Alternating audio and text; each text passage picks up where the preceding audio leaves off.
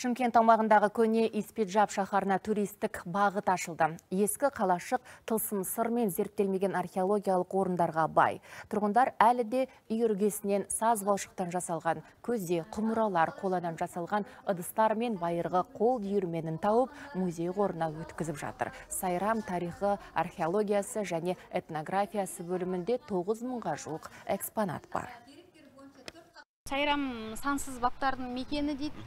Бұл жерде э, мысалы көп тарихи орындар ескерткіштер бар.